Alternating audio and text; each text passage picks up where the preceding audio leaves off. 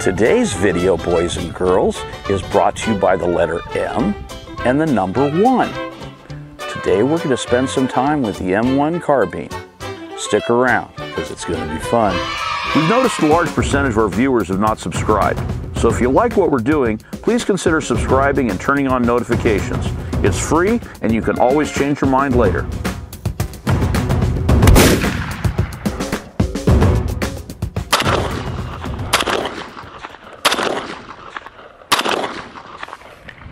All right, nothing wrong with that.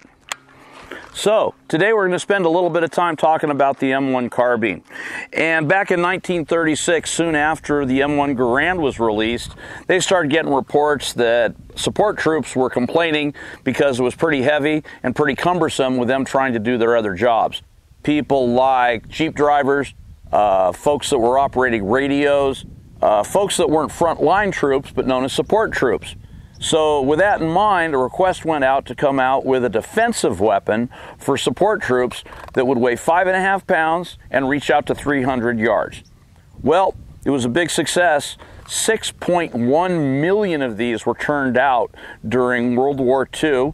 Even though it was designed by Winchester, the big numbers were actually put out by people like General Motors and Rockola, who made jukeboxes.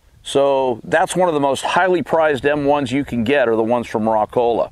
But anyway, these were designed for support troops, but also for paratroopers. You could get one of these with a folding stock that paratroopers could use for like the 101st when they went into Normandy. So it is a great handy little rifle. And this was used not just in World War II, but also during Korea and also by a lot of troops in Vietnam. So it's got about the same performance that you might consider out of a 357 Magnum. And it doesn't really fit into the category of a battle rifle for sure, or an assault rifle, which is a bit bigger.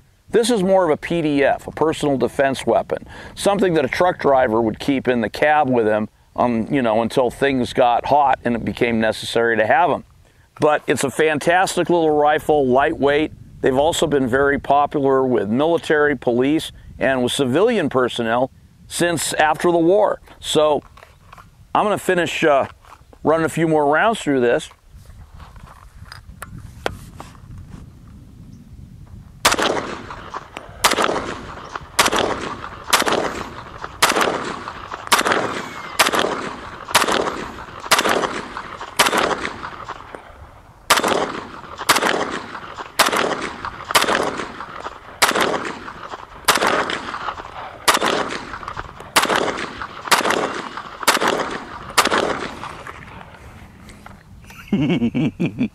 that was seriously fun. You know what else is seriously fun? Shooter shout out. Yeah. Stick a fork in him. He's done. For our first shooter shout out, it goes to Second Gunman. He really enjoyed the Ruger Mini 14 ranch rifle video, and he writes, I enjoy my stainless ranch rifle more than my ARs. So does my 12 year old son. It's just a sweet shoot and comfortable rifle. Mine serves as my truck gun. A simple 4 power Weaver scope and good light makes it a very capable rifle. I enjoyed the video. Hey, thank you much, Second Gunman. We really like the Mini 14 too. It's definitely got some legs on it and it's a classic.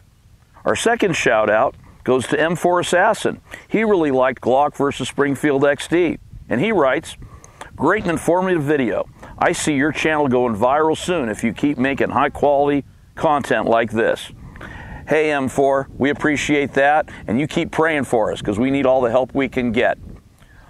If you saw anything you liked in the video, check out the description box for more information. Also, we appreciate everybody sticking around with us. My name's Ed Thorell from Firearms Education and Training. We'd appreciate it if you'd all like, subscribe, and share, and we'll see you all next time. Take care.